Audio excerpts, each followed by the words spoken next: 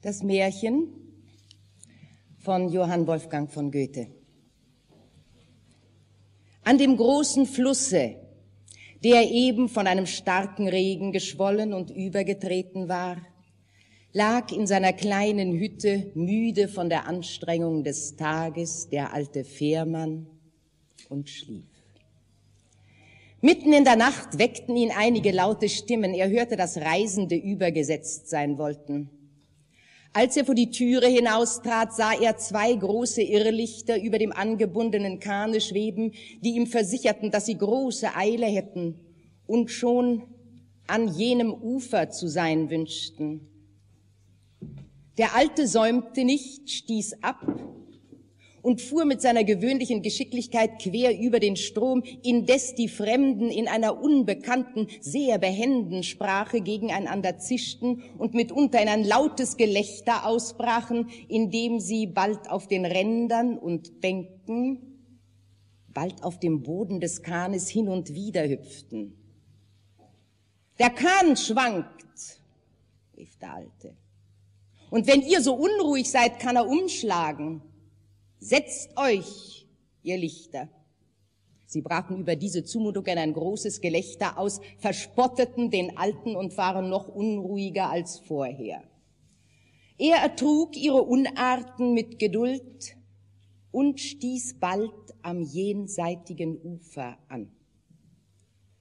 Hier ist für eure Mühe, riefen die Reisenden, und es fielen, indem sie sich schüttelten, viele glänzende Goldstücke in den feuchten Kahn. Ums Himmels willen, was macht ihr? rief der Alte, ihr bringt mich ins größte Unglück. Wäre ein Goldstück ins Wasser gefallen, so würde der Strom, der dies Metall nicht leiden kann, sich in entsetzliche Wellen erhoben, das Schiff und mich verschlungen haben und wer weiß, wie es euch gegangen sein würde, nehmt euer Geld wieder zu euch. Wir können nichts wieder zu uns nehmen, was wir abgeschüttelt haben, versetzten jene. So macht ihr mir noch die Mühe, sagte der Alte, indem er sich bückte und die Goldstücke in seine Mütze las, dass ich sie zusammensuchen, ans Land tragen und vergraben muss. Die Irrlichter waren aus dem Kahne gesprungen und der Alte rief, wo bleibt nun mein Lohn? Wer kein Gold nimmt, mag umsonst arbeiten, riefen die Irrlichter. Ihr müsst wissen, dass man mich nur mit Früchten der Erde bezahlen kann. Mit Früchten der Erde? Wir verschmähen sie und haben sie nie genossen und doch kann ich euch nicht loslassen.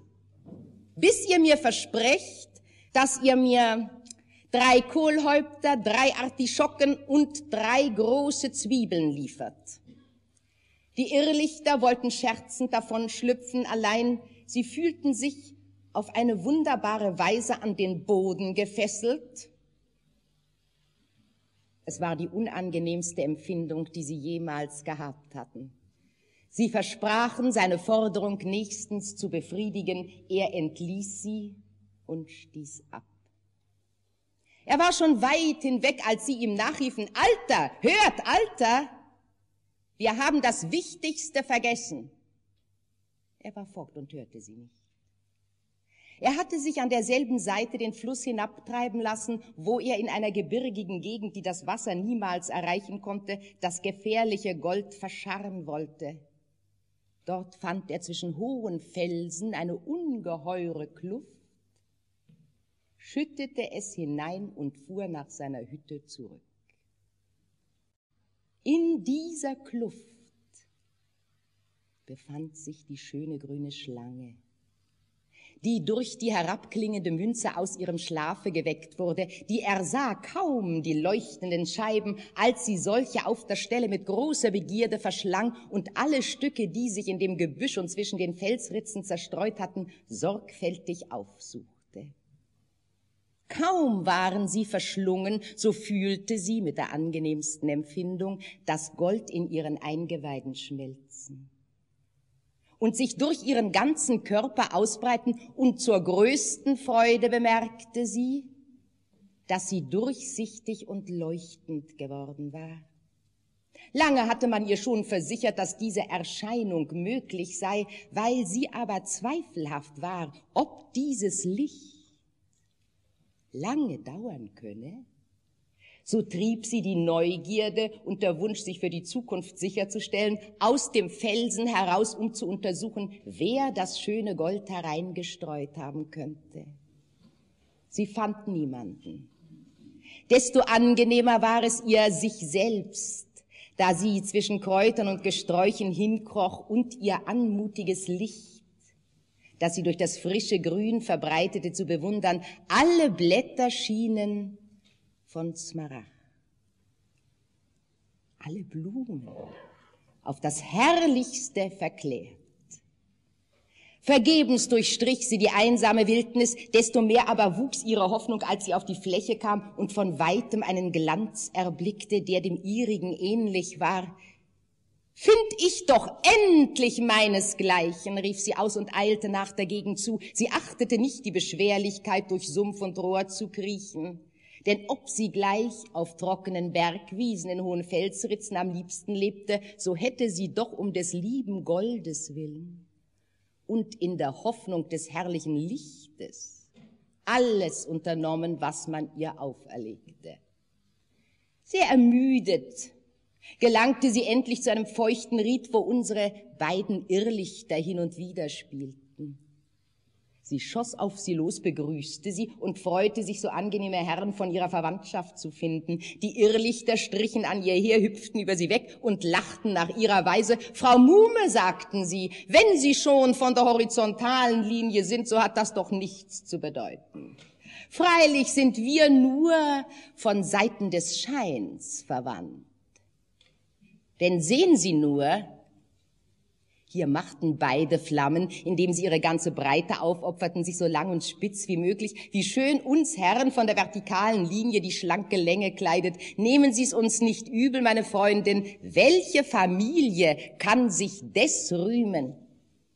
Solange es Irrlichter gibt, hat noch keines weder gesessen noch gelegen. Die Schlange fühlte sich in der Gegenwart dieser Verwandten sehr unbehaglich.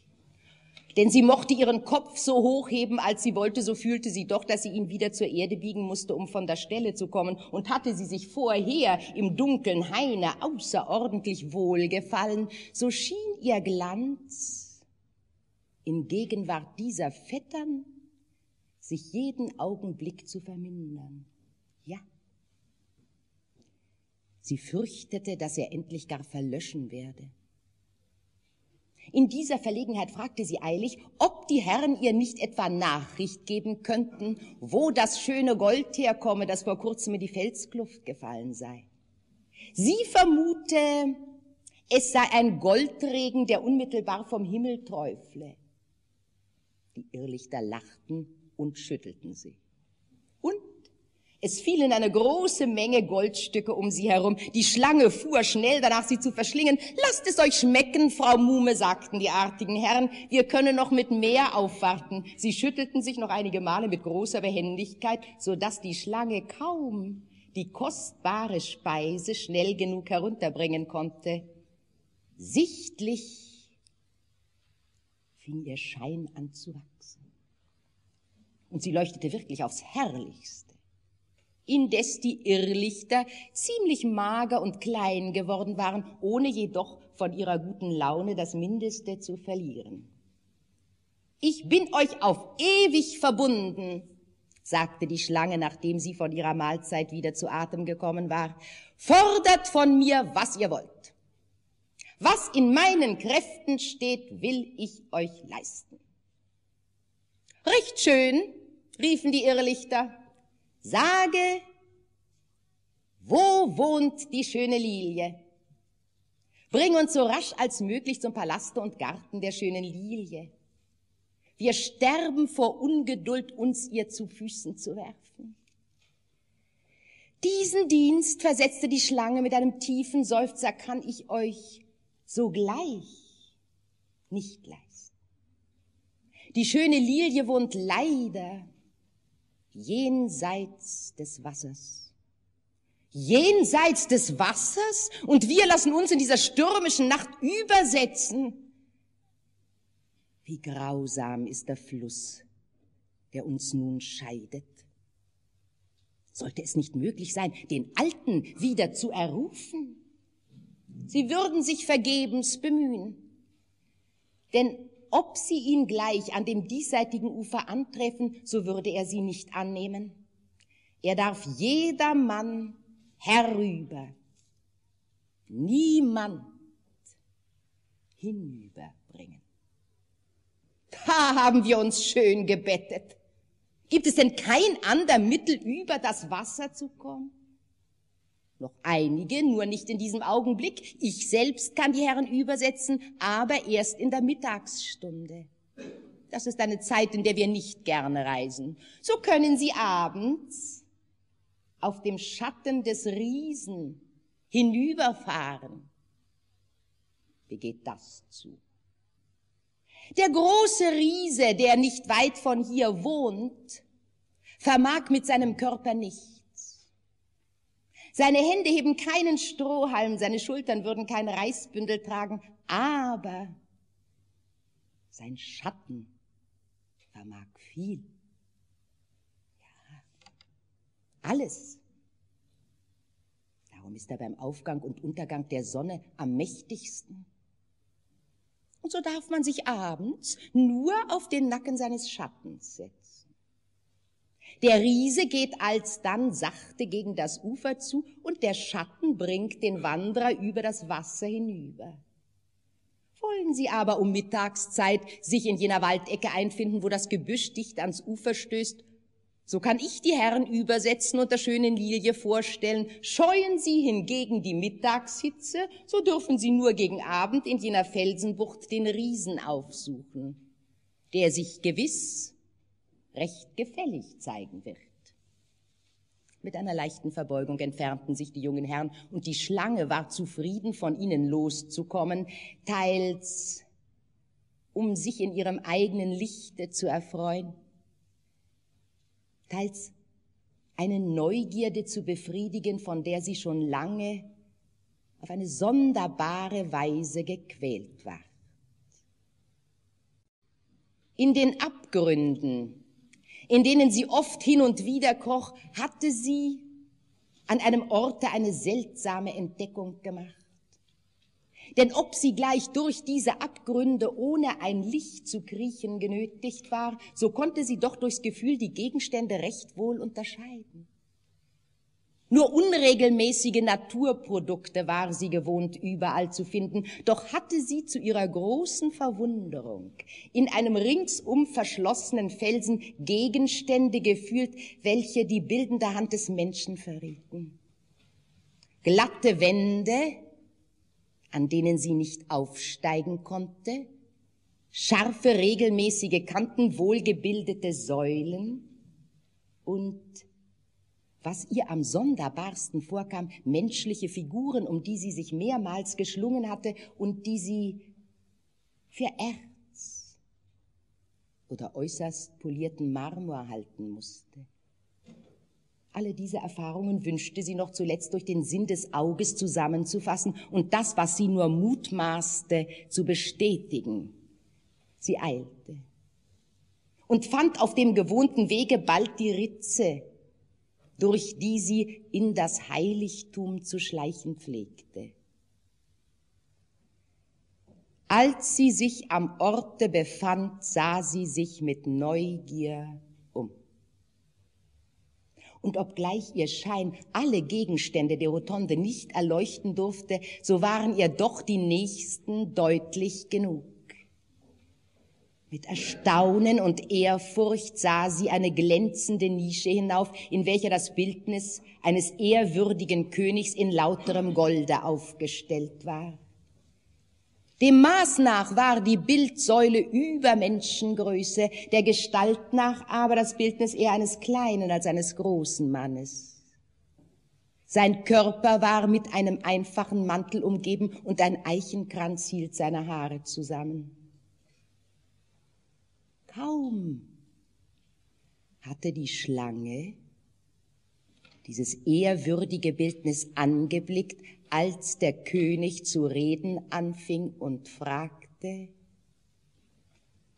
wo kommst du her? Aus den Klüften, versetzte die Schlange, in denen das Gold wohnt. Was ist herrlicher als Gold? fragte der König. Das Licht, antwortete die Schlange. Was ist erquicklicher als das Licht? fragte jener. Das Gespräch, antwortete diese. Sie hatte unter diesen Reden beiseite geschielt und in der nächsten Nische ein anderes herrliches Bild gesehen. In derselben saß ein silberner König von langer und eher schmächtiger Gestalt. Sein Körper war mit einem verzierten Gewande überdeckt, Krone, Gürtel und Zepter mit Edelsteinen geschmückt. Er hatte die Heiterkeit des Stolzes in seinem Angesichte und schien eben reden zu wollen, als an der marmornen Wand eine Ader die dunkelfarbig hindurchlief, auf einmal hell ward und ein angenehmes Licht durch den ganzen Tempel verbreitete. Bei diesem Lichte sah die Schlange den dritten König, der von Erz in mächtiger Gestalt dasaß, sich auf seine Keule lehnte, mit einem Lorbeerkranze geschmückt war und eher einem Felsen als einem Menschen glich. Sie wollte sich nach dem vierten umsehen, der in der größten Entfernung von ihr stand, aber die Mauer öffnete sich, indem die erleuchtete Ader wie ein Blitz zuckte und verschwand. Ein Mann von mittlerer Größe, der heraustrat, zog die Aufmerksamkeit der Schlange auf sich. Er war als ein Bauer gekleidet und trug eine kleine Lampe in der Hand, in deren stille Flamme man gerne hineinsah und die auf eine wunderbare Weise, ohne auch nur einen Schatten zu werfen, den ganzen Dom erhellte. Warum kommst du, da wir Licht haben? fragte der goldene König. Ihr wisst, dass ich das Dunkle nicht erleuchten darf. Endigt sich mein Reich? fragte der silberne König. Spät oder nie? sagte der Alte. Mit einer starken Stimme fing der eherne König an zu fragen, wann werde ich aufstehen? Bald, versetzte der Alte. Mit wem soll ich mich verbinden? Mit deinen älteren Brüdern, sagte der Alte. Was wird aus dem Jüngsten werden? fragte der König. Er wird sich setzen, sagte der Alte. Ich bin nicht müde, rief der vierte König mit einer rauen und stotternden Stimme. Die Schlange war indessen jene redeten in dem Tempel leise herumgeschlichen, hatte alles betrachtet und besah nunmehr den vierten König in der Nähe. Er stand an eine Säule gelehnt und seine ansehnliche Gestalt war eher schwerfällig als schön. Allein das Metall, woraus er gegossen war, konnte man nicht leicht unterscheiden. Genau betrachtet war es eine Mischung der drei Metalle, aus denen seine Brüder gebildet waren, aber beim Gusse schienen diese Materien nicht recht zusammengeschmolzen zu sein. Goldene und silberne Adern liefen unregelmäßig durch eine eherne Masse hindurch und gaben dem Bilde ein unangenehmes Ansehen. Indessen sagte der goldene König zum Manne, wie viel Geheimnisse weißt du? Drei, versetzte der Alte. Welches ist das Wichtigste? fragte der silberne König. Das Offenbare, sagte der Alte. Willst du es auch uns eröffnen? fragte der eherne König sobald ich das vierte weiß, sagte der Alte. Was kümmert's mich, murmelte der zusammengesetzte König vor sich hin. Ich weiß das vierte, sagte die Schlange, näherte sich dem Alten und zischte ihm etwas ins Ohr. Es ist an der Zeit, rief der Alte mit gewaltiger Stimme, der Tempel schallte wieder, die metallenen Bildsäulen klangen, und in dem Augenblicke verschwand der Alte nach Westen und die Schlange nach Osten, und jedes durchstrich mit großer Schnelle die Klüfte der Felsen. Alle Gänge, durch die der Alte hindurchwandelte, füllten sich hinter ihm sogleich mit Gold.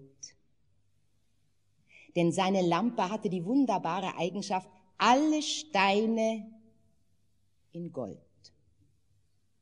alles Holz in Silber, tote Tiere in Edelsteine zu verwandeln und alles Metall zu zernichten. Diese Wirkung zu äußern, musste sie aber ganz allein leuchten. Wenn ein ander Licht neben ihr war, wirkte sie nur einen schönen hellen Schein und alles Lebendige ward immer durch sie erquickt. Der Alte trat in seine Hütte, die an dem Berge angebauet war, und fand sein Weib in der größten Betrübnis. Sie saß am Feuer und weinte und konnte sich nicht zufrieden geben. Wie unglücklich bin ich, rief sie aus. Wollte ich dich heute doch nicht fortlassen? Was gibt es denn? fragte der Alte ganz ruhig. Kaum bist du weg, sagte sie mit Schluchzen. So kommen zwei ungestüme Wanderer vor die Türe. Unvorsichtig lasse ich sie herein. Es schienen ein paar artige, rechtliche Leute zu sein. Sie waren in leichte Flammen gekleidet. Man hätte sie für Irrlichter halten können. Kaum sind sie im Hause, so fangen sie an, auf eine unverschämte Weise mir mit Worten zu schmeicheln und werden so zudringlich, dass ich mich schäme, davon zu sprechen. Nun, erwiderte der Mann lächelnd, die Herren haben wohl gescherzt. Denn Deinem Alter nach sollten sie es wohl bei der allgemeinen Höflichkeit gelassen haben. Was, Alter? Alter, rief die Frau, soll ich immer von einem Alter hören? Wie alt bin ich denn? Gemeine Höflichkeit, ich weiß doch, was ich weiß. Und sieh dich nur um. Wie die Wände aussehen. Sieh nur, alten Steine, die ich seit hundert Jahren nicht mehr gesehen habe. Alles Gold haben sie heruntergeleckt und du glaubst nicht mit welcher Behendigkeit. Und sie sagten immer, es schmecke viel besser als gemeines Gold. Als sie die Wände reingefegt hatten, schienen sie sehr gutes Mutes und gewiss, sie waren auch in kurzer Zeit sehr viel größer, breiter und glänzender geworden. Nun fingen sie ihren Mutwillen von neuem an, streichelten mich wieder, hießen mich ihre Königin, schüttelten sich und eine Menge Goldstücke sprangen herum. Du siehst noch, wie sie dort unter der Bank leuchten. Aber welch ein Unglück! Unser Mops fraß einige davon. Und sieh, da liegt er am Kamine, tot. Das arme Tier, ich kann mich nicht zufrieden geben. Ich sah es erst, da sie fort waren, denn sonst hätte ich ihnen nicht versprochen ihre Schuld beim Fährmann abzutragen. Was sind Sie schuldig? fragte der Alte. Drei Kohlhäupter, drei Artischocken und drei Zwiebeln. Wenn es Tag wird, habe ich versprochen, sie an den Fluss zu tragen. Du kannst ihnen den Gefallen tun, sagte der Alte, denn äh, sie werden uns gelegentlich auch wieder dienen. Ob sie uns dienen werden, weiß ich nicht, aber versprochen und beteuert haben sie es. Indessen war das Feuer im Kamine zusammengebrannt, der Alte überzog die Kohlen mit vieler Asche, schaffte die leuchtenden Goldstücke beiseite, und nun leuchtete sein Lämpchen wieder allein in dem schönsten Glanze. Die Mauern überzogen sich mit Gold. Und der Mops war zu dem schönsten Onyx geworden, den man sich denken konnte. Die Abwechslung der braunen und schwarzen Farbe des kostbaren Gesteins machten ihn zum seltensten Kunstwerke. Nimm deinen Korb, sagte der Alte, und stelle den Onyx hinein. Dann nimm die drei Kohlhäupter, die drei Artischocken und die drei Zwiebeln, lege sie umher und trage sie zum Flusse. Gegen Mittag lass dich von der grünen Schlange übersetzen, besuche die schöne Lilie, bring ihr den Onyx. Sie wird ihn durch ihre Berührung lebendig machen wie sie alles Lebendige durch ihre Berührung tötet. Sie wird einen treuen Gefährten an ihm haben. Sage ihr, sie solle nicht trauern. Ihre Erlösung sei nahe. Das größte Unglück könne sie als größtes Glück ansehen. Denn es sei an der Zeit. Die Alte packte ihren Korb und machte sich, als es Tag war, auf den Weg. Die aufgehende Sonne schien hell über den Fluss herüber, der in der Ferne glänzte. Das Weib ging mit langsamem Schritt, denn der Korb drückte sie aufs Haupt. Und es war doch nicht der Onyx, der so lastete. Alles Tote, was sie trug, fühlte sie nicht. Vielmehr hob sich alsdann der Korb in die Höhe und schwebte über ihrem Haupte. Aber ein frisches Gemüs oder ein kleines, lebendiges Tier zu tragen, war ihr äußerst beschwerlich. Verdrießlich war sie eine Zeit lang hingegangen, als sie auf einmal erschreckt stille stand denn sie hätte beinahe auf den Schatten des Riesen getreten, der sich über die Ebene weg bis zu ihr hin erstreckte, und nun sah sie erst den gewaltigen Riesen, der sich im Flusse gebadet hatte, aus dem Wasser heraussteigen, und sie wusste nicht, wie sie ihm ausweichen sollte.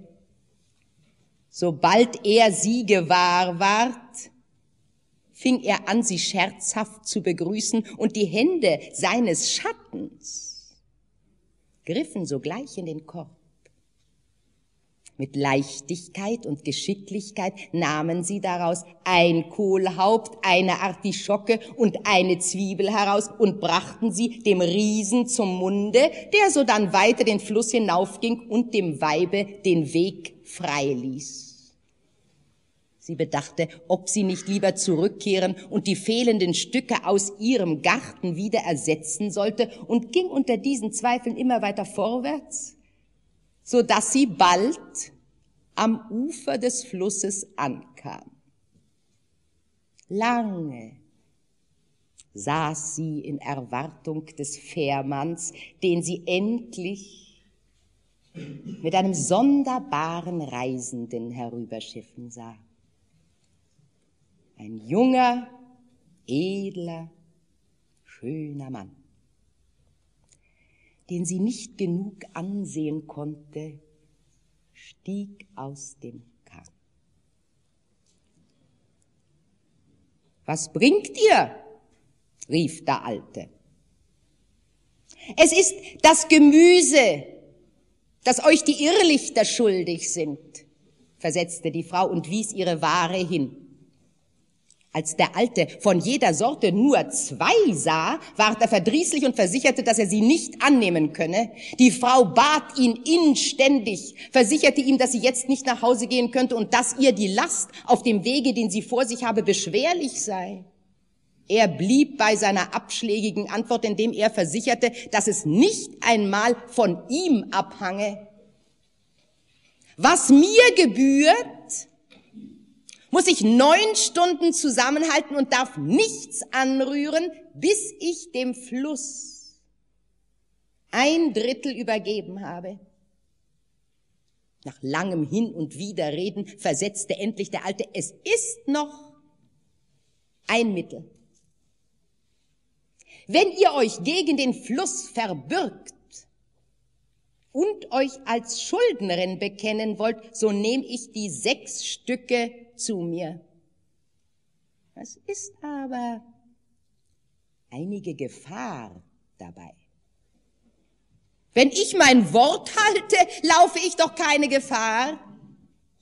Nicht die geringste. Steckt eure Hand in den Fluss und versprecht, dass ihr in 24 Stunden die Schuld abtragen wollt. Die Alte tat's. Aber wie erschrak sie nicht, als sie ihre Hand kohlschwarz wieder aus dem Wasser zog. Sie schalt heftig auf den Alten versicherte, dass ihre Hände immer das Schönste an ihr gewesen wären und dass sie ungeachtet der harten Arbeit diese edlen Glieder weiß und zierlich zu erhalten gewusst habe. Sie besah die Hand mit großem Verdrusse und rief verzweiflungsvoll aus, das ist ja noch schlimmer. Ich sehe, sie ist gar geschwunden. Sie ist viel kleiner als die andere. Jetzt scheint es nur so, sagte der Alte. Wenn ihr aber nicht Wort haltet, kann es wahr werden. Die Hand wird nach und nach schwinden und endlich ganz verschwinden, ohne dass ihr den Gebrauch derselben entbehrt. Ihr werdet alles damit verrichten können, nur dass sie niemand sehen wird. Ich wollte lieber, ich könnte sie nicht brauchen und man sehe mir es nicht an. Indessen hat das nichts zu bedeuten, ich werde mein Wort halten, um diese schwarze Haut und diese Sorge bald loszuwerden. Eilig nahm sie darauf den Korb und eilte dem jungen Manne nach, der sachte und in Gedanken am Ufer hinging. Seine herrliche Gestalt und sein wunderbarer Anzug hatte sich der Alten tief eingedruckt. Seine Brust war mit einem glänzenden Harnisch bedeckt. Um seine Schultern hing ein Purpurmantel. Um sein unbedecktes Haupt wallten braune Haare in schönen Locken, sein holdes Gesicht war den Strahlen der Sonne ausgesetzt, sowie seine schön gebauten Füße. Mit nackten Sohlen ging er gelassen über den heißen Sand hin. Und ein tiefer Schmerz schien alle äußeren Eindrücke abzustumpfen. Die gesprächige Alte suchte ihn zu einer Unterredung zu bringen, allein er gab ihr mit kurzen Worten wenig Bescheid, so dass sie endlich, ungeachtet seiner schönen Augen, müde ward, ihn immer vergeblich anzureden, von ihm Abschied nahm und sagte, ihr geht mir zu langsam, mein Herr.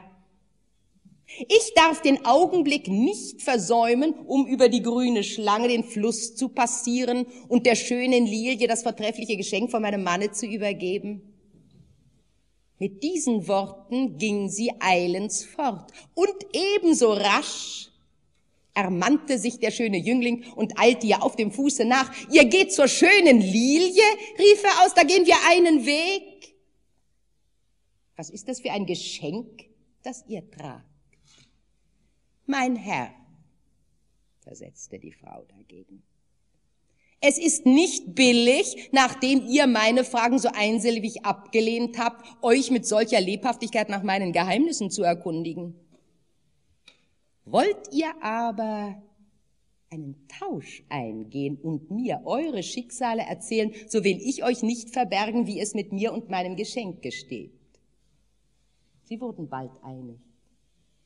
Die Frau vertraute ihm ihre Verhältnisse, die Geschichte des Hundes, und ließ ihn dabei das wundervolle Geschenk betrachten.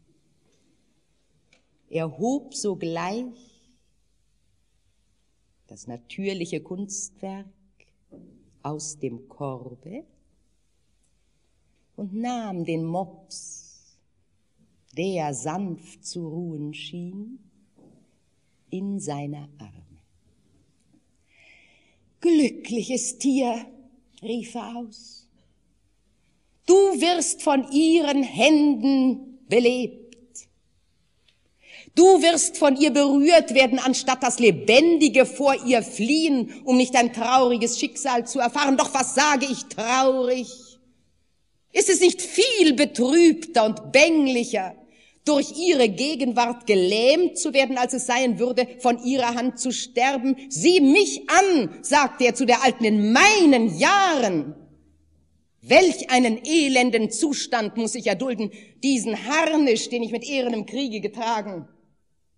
Diesen Purpur, den ich durch eine weise Regierung zu verdienen suchte, hat mir das Schicksal gelassen. Krone, Zepter und Schwert sind hinweg. Ich bin übrigens so nackt und bedürftig jeder andere Erdensohn, denn so unselig wirken ihre schönen blauen Augen, dass sie allen lebendigen Wesen ihre Kraft nehmen und dass diejenigen, die ihre berührende Hand nicht tötet, sich in den Zustand lebendig wandelnder Schatten versetzt fühlen, so fuhr er fort zu klagen und befriedigte die Neugierde der Alten keineswegs. Sie erfuhr weder den Namen seines Vaters noch seines Königreiches. Unter diesen Gesprächen sahen sie von ferne den majestätischen Bogen der Brücke, der von einem Ufer zum anderen hinüberreichte, im Glanze der Sonne auf das wunderbarste Schimmern. Beide erstaunten, denn sie hatten dieses Gebäude noch nie so herrlich gesehen. Wie? rief der Prinz. War sie nicht schon schön genug, da sie vor unseren Augen wie von Jaspis und Prasem gebaut dastand? Muss man nicht fürchten, sie zu betreten, da sie aus Smaragd, Chrysopras und Chrysolit mit der anmutigsten Mannigfaltigkeit zusammengesetzt erscheint? Beide wussten nicht die Veränderung die mit der Schlange vorgegangen war. Denn die Schlange war es, die sich jeden Mittag über den Fluss hinüberbäumte und in Gestalt einer kühnen Brücke dastand. Die Wanderer betraten sie mit Ehrfurcht und gingen schweigend hinüber. Sie waren kaum am anderen Ufer, als der Bogen sich zu schwingen und zu bewegen anfing, in Kürze die Oberfläche des Wassers berührte und die grüne Schlange in ihrer eigentümlichen Gestalt den Wanderern auf dem Lande nachgleitete. Beide hatten kaum für die Erlaubnis, auf ihrem Rücken über den Fluss zu passieren, gedankt, als sie bemerkten, dass außer ihnen dreien noch einige Personen in der Gesellschaft sein müssten, die sie jedoch mit ihren Augen nicht erblicken konnten. Sie hörten neben sich ein Gezisch, dem die Schlange gleichfalls mit einem Gezisch antwortete. Sie horchten auf und konnten endlich Folgendes vernehmen. Wir werden sagten ein paar wechselnde Stimmen, uns erst inkognito im Park der schönen Lilie umsehen und ersuchen euch, uns mit Anbruch der Nacht, sobald wir nur irgend präsentabel sind, der vollkommenen Schönheit vorzustellen. An dem Rande des großen Sees werdet ihr uns antreffen. Es bleibt dabei, antwortete die Schlange, und ein zischender Laut verlor sich in der Luft. Unsere drei Wanderer beredeten sich nunmehr, in welcher Ordnung sie bei der Schönen vortreten wollten, denn so viel Personen auch um sie sein durften, so konnten sie doch nur einzeln kommen und gehen, wenn sie nicht empfindliche Schmerzen erdulden wollten. Die Frau mit dem verwandelten Hunde im Korbe nahte sich zuerst dem Garten und suchte ihre Gönnerin auf, die leicht zu finden war, weil sie eben zur Harfe sang. Die lieblichen Töne zeigten sich erst als Ringe auf der Oberfläche des stillen Sees, dann wie ein leichter Hauch setzten sie Gras und Büsche in Bewegung. Auf einem eingeschlossenen, grünen Platze. In dem Schatten einer herrlichen Gruppe mannigfaltiger Bäume saß sie und bezauberte beim ersten Anblick aufs Neue die Augen, das Ohr und das Herz des Weibes, das sich ihr mit Entzücken näherte und bei sich selbst schwor, die Schöne sei während ihrer Abwesenheit nur immer schöner geworden. Schon von weitem rief die gute Frau dem liebenswürdigsten Mädchen Gruß und Lob zu. Welch ein Glück, euch anzusehen. Welch einen Himmel verbreitet eure Gegenwart um euch her, wie die Harfe so reizend in eurem Schoße lehnt, wie eure Arme sie so sanft umgeben, wie sie sich nach eurer Brust zu sehnen scheint. Und wie sie unter der Berührung eurer schlanken Finger so zärtlich klingt dreifach glücklicher Jüngling, der du ihren Platz einnehmen konntest. Unter diesen Worten war sie näher gekommen. Die schöne Lilie schlug die Augen auf, ließ die Hände sinken und versetzte, betrübe mich nicht durch ein unzeitiges Lob. Ich empfinde nur desto stärker mein Unglück. Sieh hier, zu meinen Füßen liegt der arme Kanarienvogel tot, der sonst meine Lieder auf das angenehmste begleitete. Er war gewöhnt, auf meiner Harfe zu sitzen und abgerichtet, mich nicht zu berühren. Heute indem ich vom Schlaf erquickt ein ruhiges Morgenlied anstimme und mein kleiner Sänger munterer als jemals seine harmonischen Töne hören lässt, fliegt ein Habicht über meinem Haupte hin.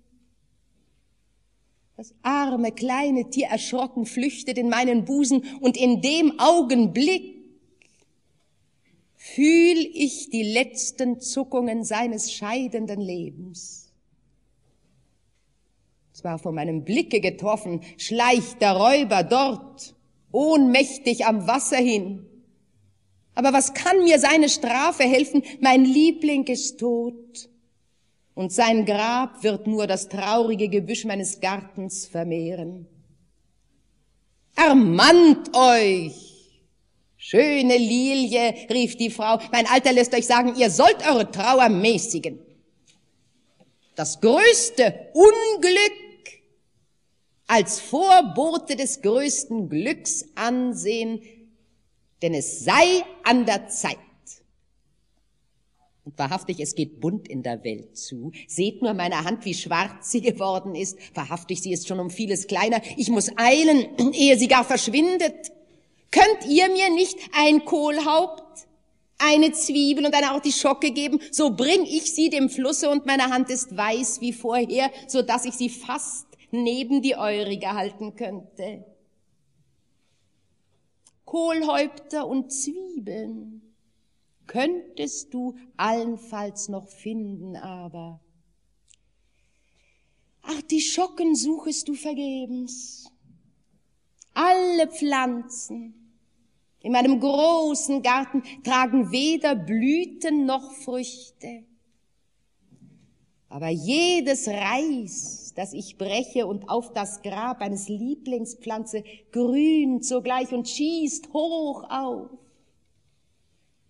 Alle diese Büsche, diese Gruppen, diese Haine, hab ich leider wachsen sehen als ein trauriges Denkmal von meiner Hand in einen sonst unfruchtbaren Boden gepflanzt. Die Alte hatte auf diese Rede wenig Acht gegeben und nur ihre Hand betrachtet, die in der Gegenwart der schönen Lilie immer schwärzer und von Minute zu Minute kleiner zu werden schien. Sie wollte ihren Korb nehmen und eben forteilen, als sie fühlte, dass sie das Beste vergessen hatte. Sie hub sogleich den verwandelten Hund aus dem Korbe und setzte ihn nicht weit von der Schönen ins Grab. Mein Mann schickt euch dieses Andenken. Ihr wisst, dass ihr diesen Edelstein durch eure Berührung beleben könnt. Das artige, treue Tier wird euch gewiss viel Freude machen und die Betrübnis, dass ich ihn verliere, kann nur durch den Gedanken aufgeheitert werden, dass ihr ihn besitzt. Die schöne Lilie sah das artige Tier mit Vergnügen und, wie es schien, mit Verwunderung an. Es kommen viele Zeichen zusammen, sagte sie, die mir einige Hoffnung einflößen, aber ach, ist es nicht bloß ein Wahn unserer Natur, dass wir dann, wenn vieles Unglück zusammentrifft, uns vorbilden, das Beste sei nahe? Was helfen mir die vielen guten Zeichen? des Vogels Tod, der Freundin schwarze Hand, der Mops von Edelstein, hat er wohl seinesgleichen? Und hat ihn nicht die Lampe mir gesandt? Entfernt vom süßen menschlichen Genusse bin ich doch mit dem Jammer nur vertraut. Ah, warum steht der Tempel nicht am Flusse? Ah, warum ist die Brücke nicht gebaut?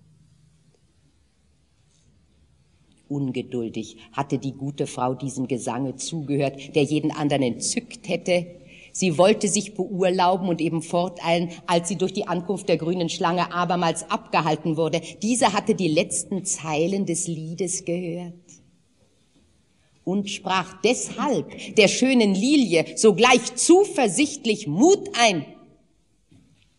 Die Weissagung von der Brücke ist erfüllt, rief sie aus. Fragt nur diese gute Frau, wie herrlich der Bogen gegenwärtig leuchtet. Kein Beryl ist so klar, kein Smaragd so schönfarbig. Ich wünsche euch Glück, sagte Lilie, aber verzeihet mir, wenn ich die Weissagung noch nicht erfüllt glaube. Über den hohen Bogen eurer Brücke können nur Fußgänger hinüberschreiten. Und es ist uns versprochen, dass Pferde und Wagen und Reisende aller Art zur gleichen Zeit über die Brücke herüber und hinüber wandern sollen, ist nicht von den großen Pfeilern geweissagt, die aus dem Flusse selbst aufsteigen werden. Die Alte hatte ihre Augen immer auf die Hand gerichtet, unterbrach hier das Gespräch und empfahl sich. Verweilt noch einen Augenblick, sagte Lilie, und nehmt meinen armen Kanarienvogel mit. Bittet die Lampe, dass ich ihn in einen schönen Topaz verwandle und er mit eurem guten Mops soll mein bester Zeitvertreib sein. Aber eilt, was ihr könnt. Der mit Sonnenuntergang ergreift unleidliche Fäulnis das arme Tier und zerreißt den schönen Zusammenhang seiner Gestalt auf ewig. Die Alte legte den kleinen Leichnam zwischen zarte Blätter in den Korb und eilte davon. Wie dem auch sei, sagte die Schlange, indem sie das abgebrochene Gespräch fortsetzte, der Tempel ist erbauet. Er steht aber noch nicht am Flusse, sagte Lilie. Noch ruht er in den Tiefen der Erde, versetzte die Schlange. Ich habe die Könige gesehen und gesprochen. Aber wann werden sie aufstehen, sagte Lilie. Die Schlange versetzte, ich hörte die großen Worte im Tempel ertönen, es ist an der Zeit. Eine angenehme Heiterkeit verbreitete sich über das Antlitz der Schönen. Höre ich doch, sagte sie, diese glücklichen Worte schon zum zweiten Mal. Wann wird der Tag kommen, an dem ich sie dreimal höre? Sie stand auf.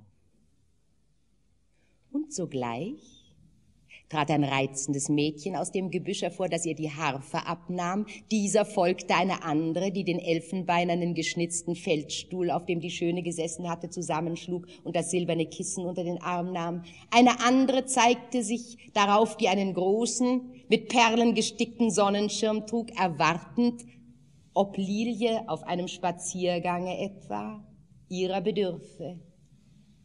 Über allen Ausdruck schön und reizend waren diese drei Mädchen, und doch erhöhten sie nur die Schönheit der Lilie, indem sich jeder gestehen musste, dass sie mit ihr gar nicht verglichen werden konnten.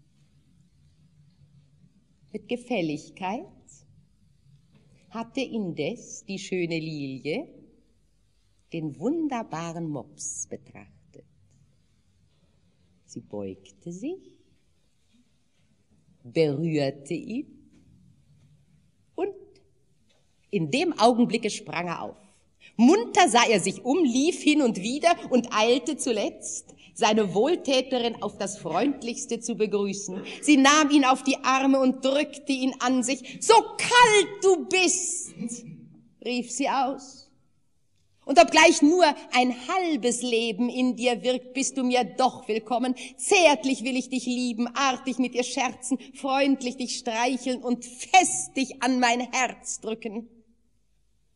Sie ließ ihn los, jagte ihn von sich, rief ihn wieder, spielte so artig mit ihm und trieb sich so munter und unschuldig mit ihm auf dem Grase herum, dass man mit neuem Entzücken ihre Freude betrachten und Teil daran nehmen musste, so wie kurz vorher ihre Traurigkeit jedes Herz zum Mitleid gestimmt hatte. Diese Heiterkeit, diese anmutigen Scherze wurden durch die Ankunft des traurigen Jünglings unterbrochen. Er trat herein, wie wir ihn schon kennen, nur schien die Hitze des Tages ihn noch mehr abgemattet zu haben und in der Gesellschaft der Geliebten ward er mit jedem Augenblicke blässer. Er trug den Habicht auf seiner Hand, der wie eine Taube ruhig saß und die Flügel hängen ließ. Es ist nicht freundlich, rief Lilie ihm entgegen, dass du mir das verhasste Tier vor Augen bringst das Ungeheuer, das meinen kleinen Sänger heute getötet hat. Schilt den unglücklichen Vogel nicht, versetzte darauf der Jüngling, klage vielmehr dich an und das Schicksal. Vergönne mir, dass ich mit dem Gefährten meines Elends Gesellschaft mache. Indessen hörte der Mops nicht auf, die Schöne zu necken. Und sie antwortete dem durchsichtigen Liebling mit dem freundlichsten Betragen. Der Jüngling sah stillschweigend und mit wachsendem Verdrusse zu. Aber endlich, da sie das hässliche Tier auf den Arm nahm, an ihren weißen Busen drückte und die schwarze Schnauze mit ihren himmlischen Lippen küsste, verging ihm alle Geduld. Und er rief voller Verzweiflung aus, muss ich, der ich durch ein trauriges Geschick von dir vielleicht auf immer in einer getrennten Gegenwart lebe, der ich durch dich alles, ja, mich selbst verloren habe, muss ich vor meinen Augen sehen, wie eine so widernatürliche Missgeburt, dich zur Freude reizen? Deine Neugierde fesseln und deine Umarmungen genießen darf. Nein. Es ruht noch ein Funke des alten Heldenmutes in meinem Busen. Er schlage in diesem Augenblick zur letzten Flamme auf. Wenn Steine an deinem Busen ruhen können, so will ich zu Stein werden. Wenn deine Berührung tötet, so will ich von deinen Händen sterben. Diesen Worten machte er eine hastige Bewegung, der Habicht flog von seiner Hand, er aber stürzte auf die Schöne los. Sie streckte die Arme aus, ihn abzuhalten und berührte ihn nur desto früher. Das Bewusstsein verließ ihn. Und mit Entsetzen fühlte sie die schöne Last an ihrem Busen. Mit einem Schrei trat sie zurück. Und der holde Jüngling sank entseelt aus ihren Armen zur Erde.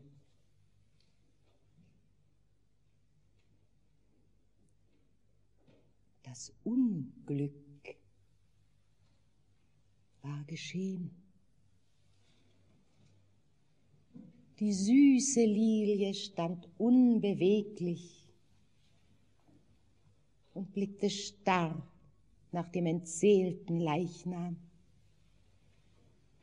Das Herz schien ihr im Busen zu stocken und ihre Augen waren ohne Tränen. Vergebens versuchte der Mops ihr eine freundliche Bewegung abzugewinnen. Die ganze Welt war mit ihrem Freunde ausgestorben. Ihre stumme Verzweiflung sah sich nach Hilfe nicht um, denn sie kannte keine Hilfe.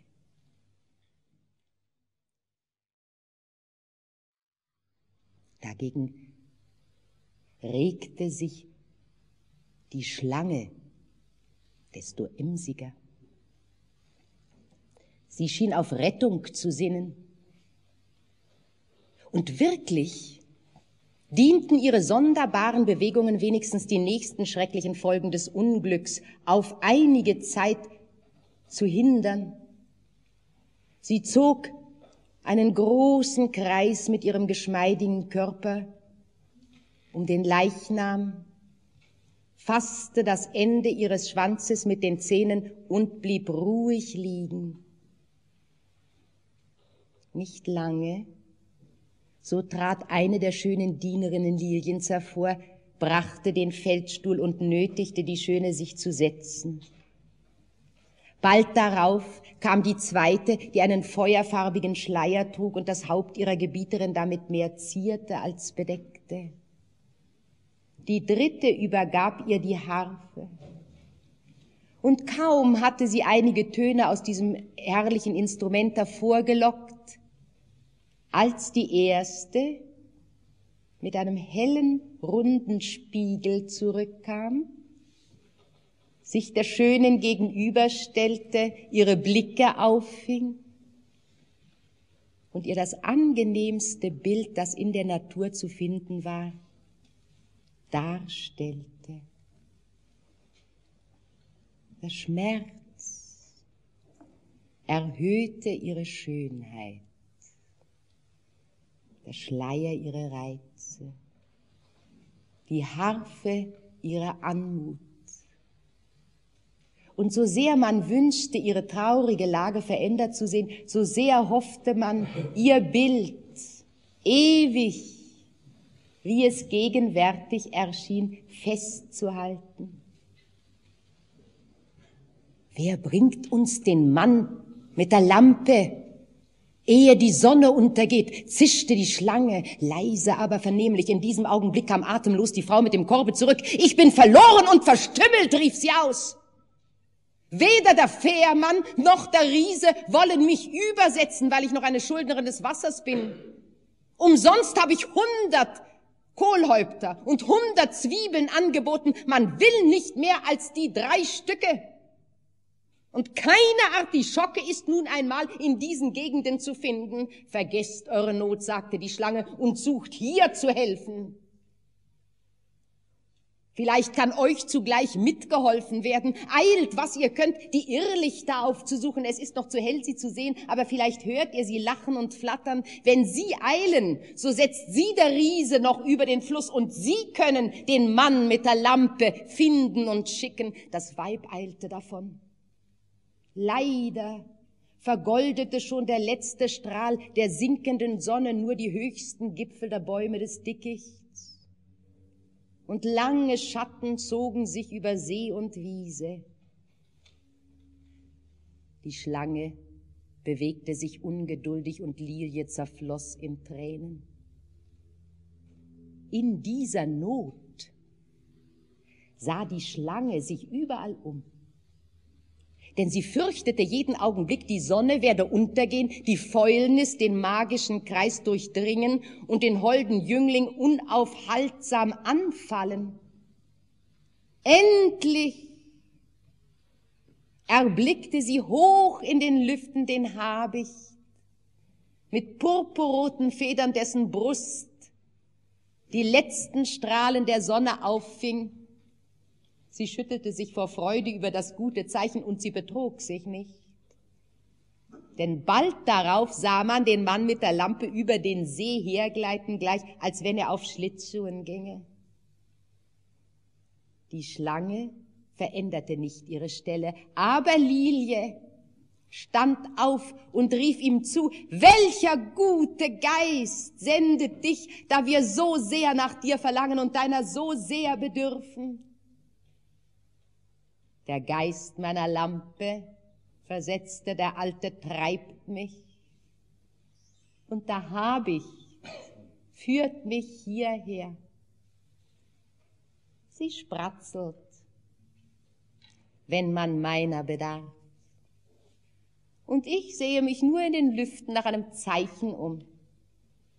Irgendein Vogel oder Meteor zeigt mir die Himmelsrichtung an, wohin ich mich wenden soll. Sei ruhig, schönstes Mädchen. Ob ich helfen kann, weiß ich nicht. Ein Einzelner hilft nicht, sondern wer sich mit vielen zur rechten Stunde vereinigt, aufschieben wollen wir und hoffen. Halte deinen Kreis geschlossen, fuhr er fort, indem er sich an die Schlange wendete, sich auf einen Erdhügel neben sie hinsetzte und den toten Körper beleuchtete. Bringt den artigen Kanarienvogel auch her und legt ihn in den Kreis. Indessen war die Sonne untergegangen und wie die Finsternis zunahm, fing nicht allein die Lampe des Mannes und die Schlange zu leuchten an, sondern der Schleier Liliens gab auch ein sanftes Licht von sich, das wie eine zarte Morgenröte ihre blassen Wangen und ihr weißes Gewand mit einer unendlichen Anmut färbte. Man sah sich wechselweise mit stiller Betrachtung an. Sorge und Trauer waren durch eine sichere Hoffnung gemildert. Nicht unangenehm erschien daher das alte Weib in Begleitung der beiden muntern Flammen, die zwar zeither sehr verschwendet haben mussten, denn sie waren wieder äußerst mager geworden, sich aber nur desto artiger gegen die Prinzessin und die übrigen Frauenzimmer betrugen, mit der größten Sicherheit und mit vielem Ausdruck sagten sie ziemlich gewöhnliche Dinge, der Mann mit der Lampe war vergnügt, dass Lilie durch diese Unterhaltung zerstreut und aufgeheitert worden. Und wirklich war Mitternacht herbeigekommen, man wusste nicht wie. Der Alte sah nach den Sternen und fing darauf zu reden an. Wir sind zur glücklichen Stunde beisammen jeder verrichte sein Amt. Jeder tue seine Pflicht. Und ein allgemeines Glück wird die einzelnen Schmerzen in sich auflösen, wie ein allgemeines Unglück einzelne Freuden verzehrt. Nach diesen Worten entstand ein wunderbares Geräusch, denn alle anwesenden Personen sprachen für sich und drückten laut aus. was sie zu tun hätten. Nur die drei Mädchen waren stille. Eingeschlafen war die eine neben der Harfe, die andere neben dem Sonnenschirm, die dritte neben dem Sessel, und man konnte es ihnen nicht verdenken, denn es war spät. Fasse, sagte der Alte zum Habicht, den Spiegel. Und mit dem ersten Sonnenstrahl beleuchte die Schläferinnen und wecke sie mit dem zurückgeworfenen Lichte aus der Höhe. Die Schlange fing nunmehr an, sich zu bewegen, löste den Kreis auf und zog langsam in großen Ringe nach dem Flusse. Feierlich folgten ihr die beiden Irrlichter und man hätte sie für die ernsthaftesten Flammen halten sollen. Die Alte und ihr Mann ergriffen den Korb, dessen sanftes Licht man bisher kaum bemerkt hatte. Sie zogen von beiden Seiten daran und er ward immer größer und leuchtender.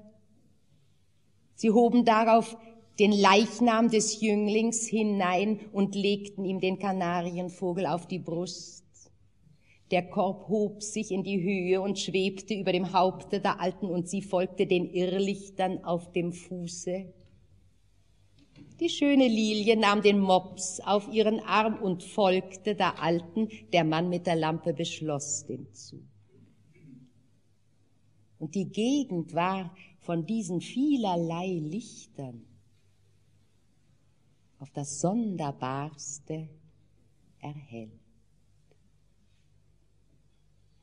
Aber mit nicht geringer Bewunderung sah die Gesellschaft, als sie zu dem Fluss gelangte, einen herrlichen Bogen über denselben hinübersteigen, wodurch die wohltätige Schlange ihnen einen glänzenden Weg bereitete. Die Wanderer betraten sie mit Ehrfurcht und gingen schweigend hinüber, und der Fährmann, der von ferne aus seiner Hütte hervorsah, betrachtete mit Staunen den leuchtenden Kreis und die sonderbaren Lichter, die darüber hinzogen. Kaum waren sie am anderen Ufer angelangt, als der Bogen nach seiner Weise zu schwingen und sich wellenartig dem Wasser zu nähern anfing. Die Schlange bewegte sich bald darauf ans Land, der Korb setzte sich zur Erde nieder, die Schlange zog aufs Neue einen Kreis umher. Der Alte neigte sich vor ihr und sprach, was hast du beschlossen?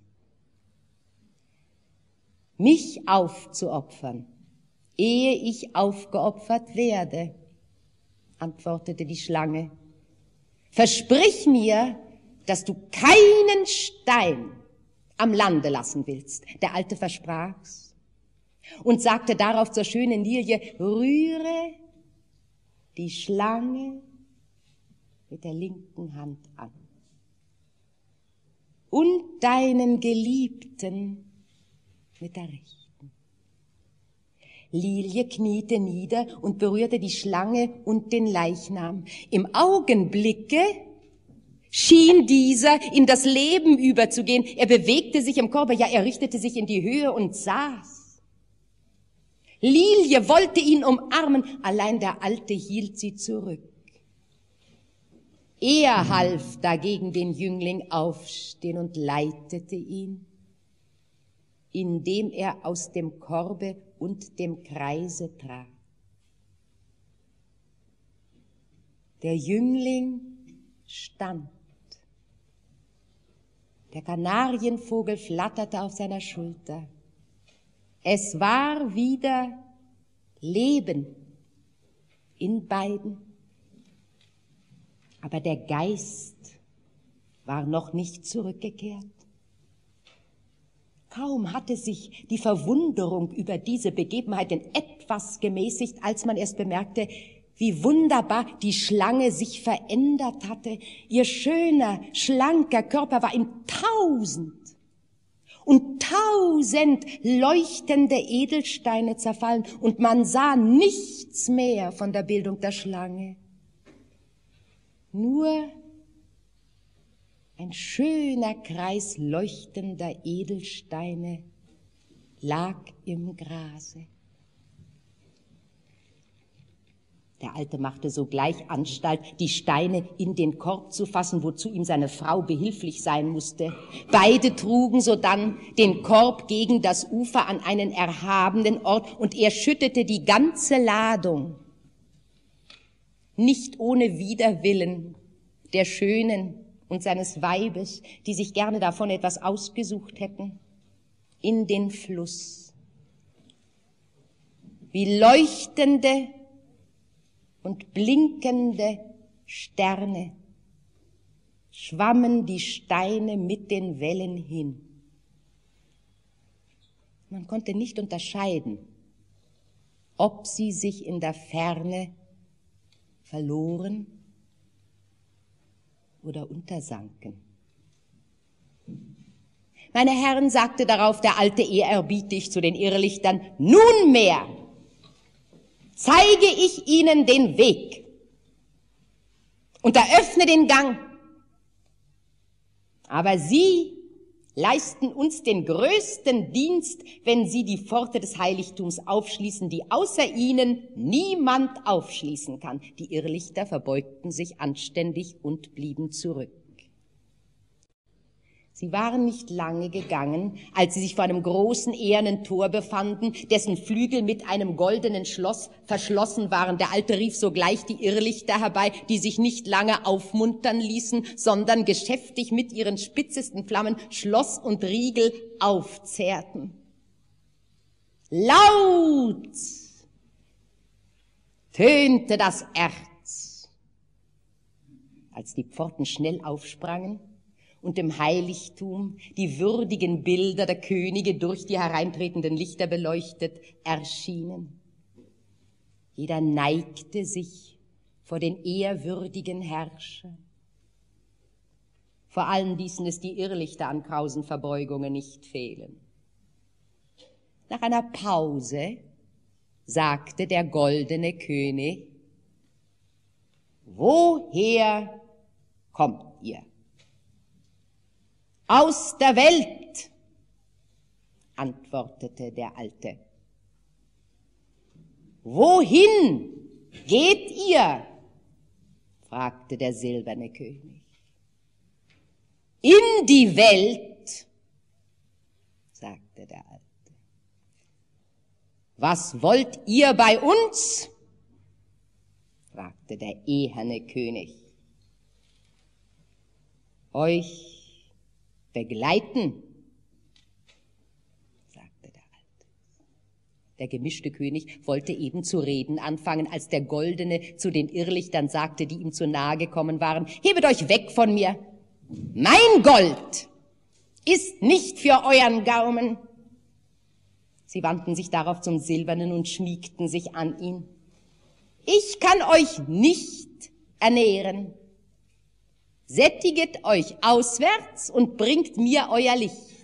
Sie entfernten sich und schlichen bei dem Ehernen vorbei, der sie nicht zu bemerken schien, auf den zusammengesetzten König los. Wer wird die Welt beherrschen? rief dieser mit stotternder Stimme. Wer auf seinen Füßen steht, antwortete der Alte. Das bin ich, sagte der gemischte König. Es wird sich offenbaren, sagte der Alte. Denn es ist an der Zeit. Die schöne Lilie fiel dem Alten um den Hals, küsste ihn aufs Herzlichste. Heiliger Vater, sagte sie, tausendmal dank ich dir. Denn ich höre das ahnungsvolle Wort zum dritten Mal. Sie hatte kaum ausgeredet, als sie sich noch fester an den Alten anhielt, denn der Boden fing unter ihnen an zu schwanken. Man konnte deutlich fühlen, dass der ganze Tempel sich bewegte wie ein Schiff, das sich sanft aus dem Hafen entfernt, wenn die Anker gelichtet sind. Die Tiefen der Erde schienen sich vor ihm aufzutun. Er stieß nirgends an. Kein Felsen war ihm im Wege, wenige Augenblicke, so schien ein feiner Regen in die Öffnung der Kuppel hereinzudringen. Der Alte hielt die schöne Lilie fester. Wir sind unter dem Flusse und bald am Ziel. Nicht lange darauf, so glaubten sie stillzustehen, doch sie betrogen sich. Der Tempel stieg aufwärts. Nun entstand ein seltsames Getöse über ihrem Haupte. Bretter und Balken begannen zu der Öffnung der Kuppel krachend hereinzudrängen. Lilie und die Alte sprangen beiseite. Der Mann mit der Lampe fasste den Jüngling und blieb stehen. Die kleine Hütte des Fährmanns. Denn sie war es, die der Tempel im Aufsteigen in sich aufgenommen hatte, sank allmählich herunter und bedeckte den Jüngling und den Alten. Die Weiber schrien laut. Und der Tempel schütterte wie ein Schiff, das unvermutet ans Land stößt. Ängstlich irrten die Frauen in der Dämmerung um die Hütte. Die Türe war verschlossen und auf ihr Pochen antwortete niemand. Sie pochten heftiger und wunderten sich nicht wenig, als zuletzt das Holz zu klingen anfing. Durch die Kraft der verschlossenen Lampe war die Hütte von innen heraus zu Silber geworden. Nicht lange so veränderte sie sogar ihre Gestalt und nun stand ein kleiner Tempel in der Mitte des Großen. Oder wenn man will, ein Altar des Tempels würdig. Durch eine Treppe, die von innen heraufging, stieg nunmehr der edle Jüngling in die Höhe der Mann mit der Lampe leuchtete ihm und ein anderer, der in einem weißen Gewand hervortrat, schien ihn zu unterstützen. Er hatte ein silbernes Ruder in der Hand und man erkannte in ihm sogleich den Fährmann, den ehemaligen Bewohner der verwandelten Hütte. Die schöne Lilie stieg die äußeren Stufen herauf, die von dem Tempel auf den Altar führten, aber noch immer musste sie sich von ihrem Geliebten entfernt halten. Die Alte, deren Hand, solange die Lampe verborgen war, immer schwärzer geworden war, rief, soll ich doch noch unglücklich werden? Ist bei so vielen Wundern durch kein Wunder meine Hand zu retten? Ihr Mann deutete nach der offenen Pforte und sagte, siehe, der Tag bricht an. Eile und bade dich im Flusse. Welch ein Rat, rief sie aus. Ich soll wohl ganz schwarz werden und ganz verschwinden. Habe ich doch meine Schuld noch nicht bezahlt. Gehe, sagte der Alte, und folge mir. Alle Schulden sind abgetragen. Die Alte eilte weg. Und in dem Augenblick erschien das Licht der aufgehenden Sonne an dem Kranze der Kuppel. Der Alte trat zwischen den Jüngling und die Jungfrau und rief mit lauter Stimme, drei sind die da herrschen auf Erden. Die Weisheit, der Schein und die Gewalt. Bei dem ersten Worte stand der goldene König auf, bei dem zweiten der silberne und bei dem dritten hatte sich der eherne langsam erhoben, als der zusammengesetzte König sich plötzlich ungeschickt niedersetzte. Wer ihn sah, konnte sich ungeachtet des feierlichen Augenblicks kaum des Lachens enthalten. Denn er saß nicht, er lag nicht, er lehnte sich nicht an, sondern er war unförmlich zusammengesunken.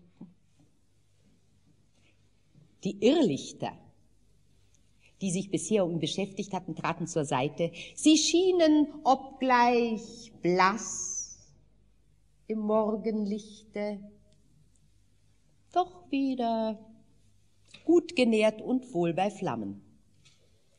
Sie hatten auf eine geschickte Weise die goldenen Adern des kolossalen Bildes bis aufs Innerste herausgeleckt. Das Mittelding zwischen Form und Klumpen war widerwärtig anzuschauen. Der Alte mit der Lampe führte nunmehr den schönen, aber immer noch starr vor sich hinblickenden Jüngling vom Altare herab und gerade auf den ehernen König los. Zu Füßen des mächtigen Fürsten lag ein Schwert eherner Scheide. Der Jüngling gürtete sich, das Schwert an der Linken, die Rechte frei, rief der gewaltige Herrscher. Sie gingen darauf zum Silbernen, der sein Zepter gegen den Jüngling neigte. Dieser ergriff es mit der linken Hand und der König sagte mit gefälliger Stimme, Weide die Schafe. Als sie zum goldenen Könige kamen, drückte er mit väterlich segnender Gebärde dem Jüngling den Eichenkranz aufs Haupt und sprach,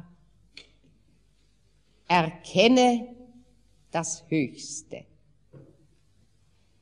Der Alte hatte während dieses Umgangs den Jüngling genau bemerkt. Nach umgürtetem Schwert hob sich seine Brust, seine Arme regten sich und seine Füße traten fester auf. Indem er den Zepter in die Hand nahm, schien sich die Kraft zu mildern und durch einen unerhörten Reiz noch mächtiger zu werden. Als aber der Eichenkranz seine Locke zierte, belebten sich seine Gesichtszüge sein Auge glänzte von unaussprechlichem Geist. Und das erste Wort seines Mundes war Lilie. Liebe. Lilie. als er ihr die silbernen Stufen hinauf entgegeneilte. Was kann der Mann? Ausgerüstet mit allem. Sich köstlicheres wünschen als die Unschuld und die stille Neigung, die mir dein Busen entgegenbringt. Oh, mein Freund, fuhr er fort, indem er sich an den Alten wendete und die drei heiligen Bildsäulen ansah, herrlich und sicher ist das Reich unserer Väter, aber du hast die vierte Kraft vergessen, die noch früher, allgemeiner, gewisser die Welt beherrscht. Die Kraft der Liebe. Mit diesen Worten fiel er dem schönen Mädchen um den Hals. Sie hatte den Schleier weggeworfen und ihre Wangen färbten sich mit der schönsten, unvergänglichsten Röte. Hierauf sagte der Mann lächelnd, die Liebe herrscht nicht, aber sie bildet. Und das ist mehr über dieser Feierlichkeit, dem Glück, dem Entzücken. Hatte man nicht bemerkt, dass der Tag völlig angebrochen war und nun fielen auf einmal durch die offene Pforte ganz unerwartete Gegenstände der Gesellschaft in die Augen. Ein großer, mit Säulen umgebener Platz machte den Vorhof, an dessen Ende man eine lange und prächtige Brücke sah, die mit hohen Bogen über den Fluss hinüberreichte. Sie war an beiden Seiten mit Säulengängen für die Wanderer bequem und prächtig eingerichtet, deren sich schon viele Tausende eingefunden hatten und emsig hin und wieder gingen. Der breite Weg in der Mitte war von Herden und Maultieren, Reitern und Wagen belebt, die an beiden Seiten, ohne sich zu hindern, stromweise hin und her gingen. Sie schienen sich alle über die Bequemlichkeit und Pracht zu wundern, und der neue König mit seiner Gemahlin war über die Bewegung und das Leben dieses großen Volkes so entzückt, als ihre wechselseitige Liebe sie glücklich machte. Gedenke der Schlange in Ehren, sagte der Mann mit der Lampe. Du bist ihr das Leben. Deine Völker sind ihr die Brücke schuldig, wodurch diese nachbarlichen Ufer erst zu Ländern belebt und verbunden werden. Jene glänzenden und leuchtenden Edelsteine, die Reste ihres aufgeopferten Körpers, sind die Grundpfeiler dieser herrlichen Brücke. Auf ihnen hat sie sich selbst erbaut und wird sich selbst erhalten. Man wollte eben die Aufklärung dieses wunderbaren Geheimnisses von ihm verlangen. Als vier schöne Mädchen durch die Pforte des Tempels eintraten, an der Harfe, dem Sonnenschirm und dem Sessel erkannte man sogleich die Begleiterinnen Liliens. Aber die vierte, schöner als die drei, war eine Unbekannte, die scherzend schwesterlich mit ihnen durch den Tempel eilte und die silbernen Stufen hinanstieg. Wirst du mir künftig mehr glauben? Liebes Weib, sagte der Mann mit der Lampe zu der Schönen. Die verschönerte Alte, von deren Bildung keine Spur mehr übrig war, umfasste mit belebten jugendlichen Armen den Mann mit der Lampe. Wenn ich dir zu alt bin, sagte er, so darfst du dir heute einen anderen Gatten wählen. Von heute an ist keine Ehe gültig, die nicht aufs Neue geschlossen wird. Ja, weißt du denn nicht, dass auch du jünger geworden bist? Ich freue mich, wenn ich deinen jungen Augen als ein wackerer Jüngling erscheine. Ich nehme deine Hand von neuem an und mag gern mit dir in das kommende Jahrtausend hinüberleben. Die Königin begrüßte ihre neue Freundin, indes der König in der Mitte der beiden Männer nach der Brücke hinsah und aufmerksam das Gewimmel des Volkes betrachtete. Aber nicht lange dauerte seine Zufriedenheit, denn er sah einen Gegenstand, der in einem Augenblick Verdruss erregte. Der große Riese, der sich von seinem Morgenschlaf noch nicht erholt zu haben schien, taumelte über die Brücke und verursachte da selbst große Unordnung. Er war wie gewöhnlich schlaftrunken aufgestanden und gedachte sich in der bekannten Bucht des Flusses zu baden. Anstatt derselben fand er festes Land und tappte auf dem breiten Ufer der Brücke hin.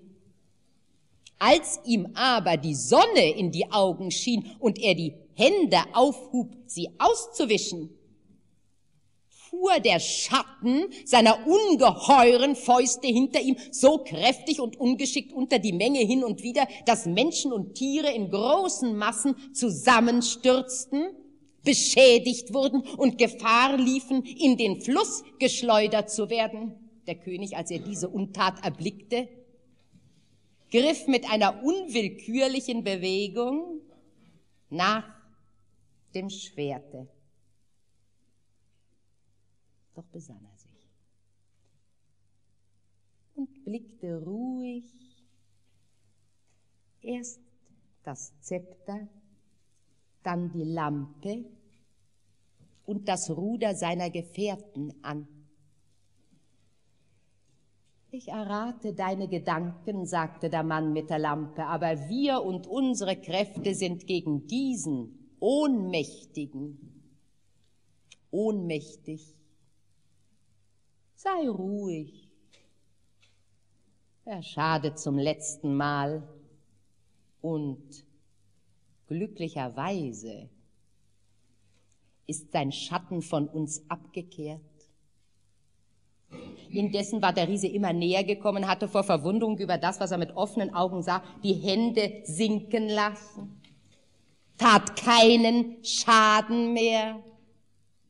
Er ging auf die Türe des Tempels los, als er plötzlich in der Mitte des Hofes festgehalten wurde. Er stand als eine kolossale, mächtige Bildsäule von rötlich glänzendem Stein da. Und sein Schatten zeigte die Stunden an. Nicht wenig erfreut war der König, den Schatten des Ungeheuers in nützlicher Richtung zu sehen. Nicht wenig verwundert war die Königin, die, als in größter Herrlichkeit geschmückt mit ihrem Jungfrauen aus dem Altar heraustrat, das seltene Bild erblickte. Indessen hatte sich das Volk dem Riesen nachgedrängt, da er stillstand, ihn umgeben und seine Verwandlung angestaunt. In diesem Augenblick flog der Habicht mit dem Spiegel hoch über den Dom, fing das Licht der Sonne auf und warf es über die auf dem Altar stehende Gruppe. Der König, die Königin und ihre Begleiter waren in dem dämmernden Gewölbe des Tempels von einem himmlischen Glanz erleuchtet und das Volk fiel auf sein Angesicht. Als die Menge sich wieder erholt hatte und aufstand, war der König mit den Seinigen in den Altar herabgestiegen, um durch verborgene Hallen nach seinem Palaste zu gehen. Und das Volk zerstreute sich in dem Tempel seine Neugierde zu befriedigen. Es betrachtete mit Staunen und Ehrfurcht die drei aufrecht stehenden Könige, aber es war desto begieriger zu wissen, was unter dem Teppich in der vierten Nische für ein Klumpen verborgen sein möchte. Denn wer es auch mochte gewesen sein, wohlmeinende Bescheidenheit hatte eine prächtige Decke über den zusammengesunkenen König hingebreitet, die kein Auge zu durchdringen vermag und keine Hand wagen darf, hinwegzunehmen. Das Volk hätte kein Ende seines Staunens und seiner Bewunderung gefunden und die zudrängende Menge hätte sich im Tempel selbst erdrückt, wäre ihre Aufmerksamkeit nicht wieder auf den großen Platz gelenkt worden. Unvermutet fielen Goldstücke wie aus der Luft, klingend auf die marmornen Platten. Die nächsten Wanderer stürzten darüber her, um sich ihrer zu bemächtigen. Einzeln wiederholte sich dies Wunder. Es war bald hier, bald dort. Man begreift wohl, dass die abziehenden Irrlichter sich hier nochmals eine Lust machten und das Gold aus den Gliedern des zusammengesunkenen Königs auf eine lustige Weise vergeudeten. Begierig lief das Volk noch eine Zeit lang hin und wieder, drängte und zerriss sich auch noch, da keine Goldstücke mehr herabfielen. Endlich verlief es sich allmählich, zog seine Straße bis auf den heutigen Tag wimmelt die Brücke von Wanderern und der Tempel ist der besuchteste auf der ganzen Erde.